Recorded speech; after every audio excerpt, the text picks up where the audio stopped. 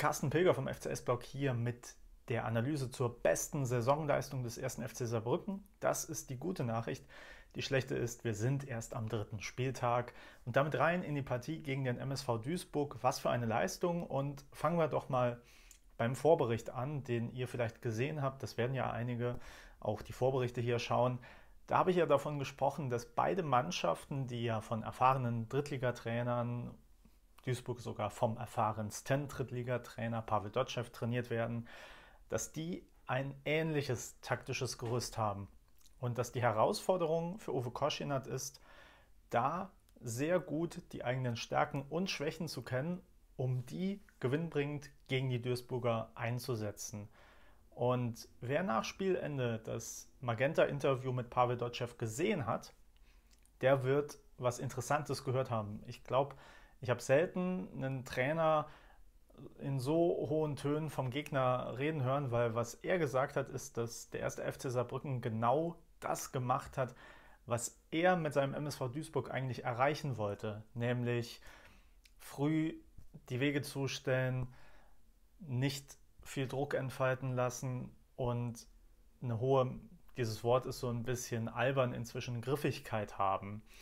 Und eine sehr interessante Beobachtung hat er gemacht, dass Saarbrücken den Spielmacher, den Zehner, im Tor stehen hat, dass man nämlich immer wieder die langen Bälle von Daniel Batz auf Adriano Grimaldi gesucht hat und der hat da vorne die wirklich festgemacht, der Wandspieler sozusagen, und hat die Bälle immer weiter verteilt. Aber fangen wir doch mal an. Wir haben zwei Mannschaften, die spielen nominell mit einem 4-2-3-1 gegeneinander. Für die, die sich es jetzt bildlich vorstellen müssen, wir haben also zwei Sechser. Wir haben in der Zentrale jemanden, das ist bei uns Julian Günther Schmidt, der so eine Art hängende Spitze ja ist.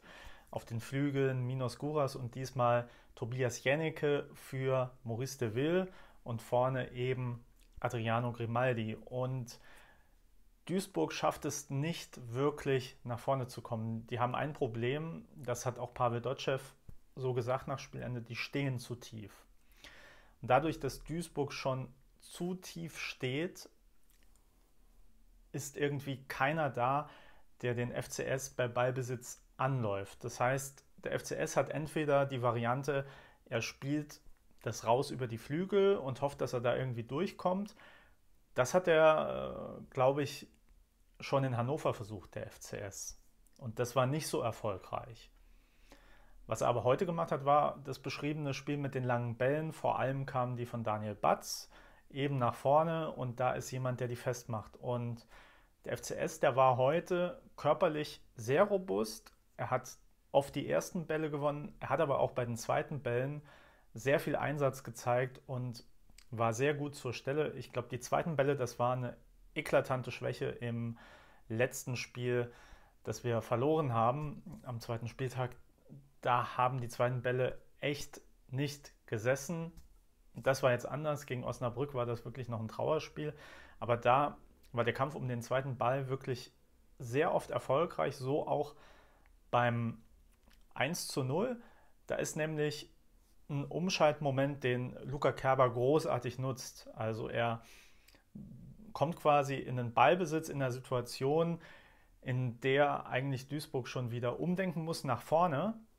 Jetzt ist es aber ein relativ kurzer Weg zum Strafraum und die Lücke zwischen den zwei Innenverteidigern ist so groß und da sucht er den Ball wirklich auf Dominik Ernst, der auch ein großartiges Spiel gemacht hat.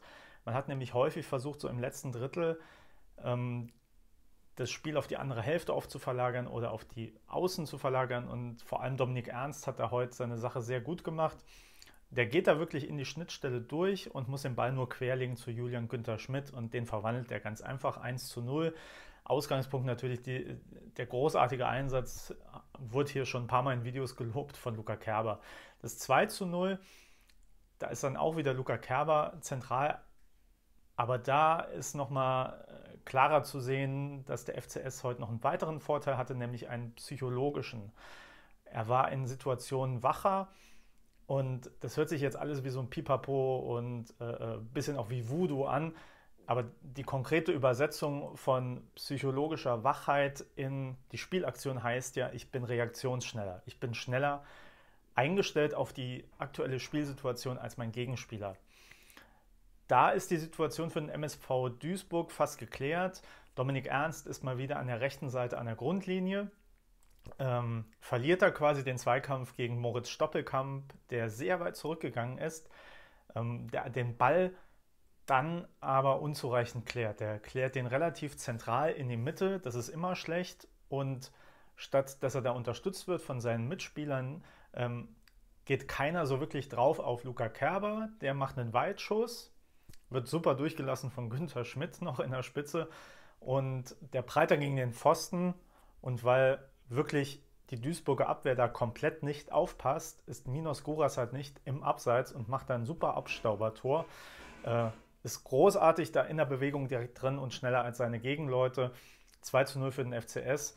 Ähm, Psychologie, wirklich wach sein, aufmerksam sein und wissen, wann man wo stehen muss. Und jetzt könnte ich auch noch über die zweite Halbzeit so reden. Ich habe mir jetzt diese Einzelaktionen rausgegriffen, weil eben die Tore dadurch entstanden sind. In der zweiten Halbzeit hätte da noch das dritte oder vierte Tor durchaus fallen können. Man war die ganze Zeit über besser, hat die Räume besser besetzt. Man hat schon sehr, sehr früh den Gegner in der gegnerischen Hälfte angelaufen. Also äh, das war oft schon der erste Pass vom Torhüter äh, in die Vierer Abwehrkette hinein, wo schon dann ein FCS-Spieler draufgegangen ist. Das hat mich ein bisschen überrascht, weil ich ähm, diese Aktion eher jetzt als Vergangenheit gesehen habe, weil ähm, dieser überfallsartige Fußball, das war ja eher noch die Kwasniok-Zeit und Uwe Koschinat hatte ja so ein bisschen den Ruf weg als Hoch- und Weittrainer, aber nee, nee, da hat man heute mehrere Tugenden gut miteinander vereinbart und auch, dass man zu Null gespielt hat. Ich meine, da gab es jetzt vielleicht im Spiel zwei Chancen für Duisburg, die jetzt aber auch nicht wirklich so zwingend waren. Da war ein Kopfball von Stoppelkamp, der aber auch relativ zentral und nicht so stark geköpft war. Was sich da wieder zeigt, ist, dass die beste Verteidigung halt schon früh im Feld beginnt, dass man schon eigentlich mit der Offensive die Defensive denken muss, dass, dass eine 0-0 stehen kann, wenn auch vorne äh, das Spiel des Gegners schon zerstört wird. Und das hat der FCS heute extremst gut gemacht und ich habe jetzt keinen Hut an, ich müsste ihn ziehen.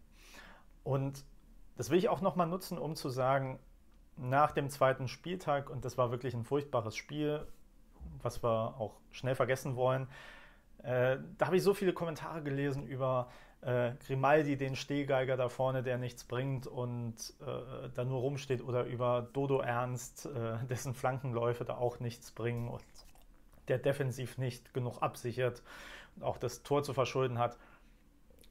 Gerade die zwei, die haben heute ein wunderbares Spiel gemacht. Die waren heute entscheidende Faktoren, dass wir gewonnen haben gegen eine Mannschaft, die zumindest mal von der individuellen Besetzung her definitiv stärker spielen wird als heute. Und wir sollten uns jetzt auch nicht von einzelnen Spielen in die Irre leiten lassen.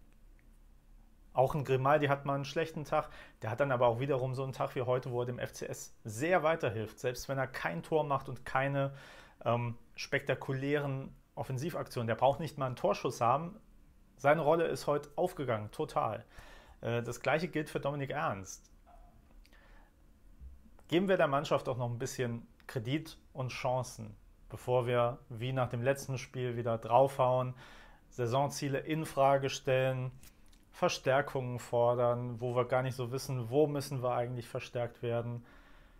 Das war Fußball, der Spaß gemacht hat. Es werden auch wieder Spiele kommen, wo man sich vielleicht taktisch verschätzt, falsch einstellt. Das werden wir alle sehen. Heute das aber war für mich schon mal so ein erstes Indiz dafür, dass auch ein Uwe Koschinat sehr gut analysieren kann und weiß, was der Gegner aufs Tablett bringt und was er dann machen muss. Und die Mannschaft hat auch gezeigt, dass sie das sehr gut umsetzen können. Ich freue mich wieder, wie immer eigentlich auf eure Kommentare und wir sehen uns im nächsten Video. Euer Carsten.